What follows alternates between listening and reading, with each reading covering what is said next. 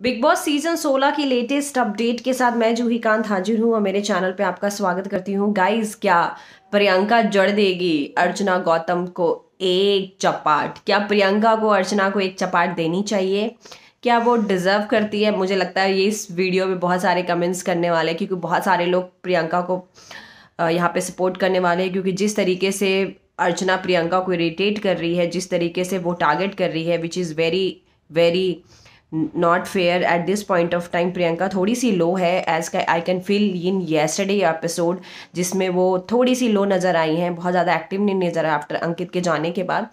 सो so, मैं यहाँ पे बात कर रही हूँ कि जो प्रोमो में दिखाया गया वो कितना सिच है, पर ये बात तो सही है कि आर्गूमेंट हुई है किचन एरिया में और बहुत हीटेड आर्गूमेंट हुई है। आज का एपिसोड बहुत ही दिलचस्प होने वाला है। सो गाइज़ प्रियंका और अर्चना की इस फाइट में आप किसे सपोर्ट कर रहे हो? आप किसके साइड है? आपको कौन लगता है कि यहाँ पे सही होगा, गलत होगा?